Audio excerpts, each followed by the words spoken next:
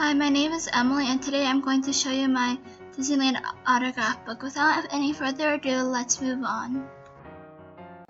Here we have is my 2009 autograph book when I got when I was seven, when I was uh, at Disneyland in the summer. So here it is, and before and let's move on to the autographs. Here we have Goofy from my seven-year-old trip. Here we have Mickey from my seven-year-old trip. Here we have Pluto from my earlier in January trip as you could tell by the date. Here we have Minnie Mouse as you could tell by the date from January. Here we have Chip, which is without Dale, as you could tell by the date we have Donald Duck number one because Donald always thinks that he's better than Mickey. Here we have Mulan, which I met her out in front of the gate.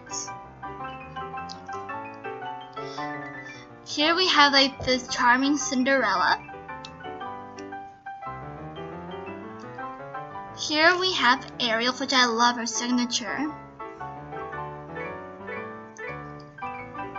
Here we have Snow White, which you put in your hate. Here is Belle, which is like a lot like L's, L's, L's, uh, kind of like that. Here we have Alice in, on my birthday trip. Here we have Mr. Mad Hatter, but he decided to sign my book upside down instead. Here we have Mary and Poppins and Bert signed together. Here we have Tinkerbell.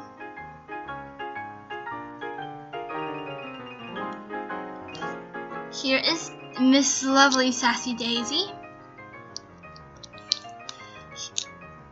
Here we have Moana, she signed on the other side of my autograph book.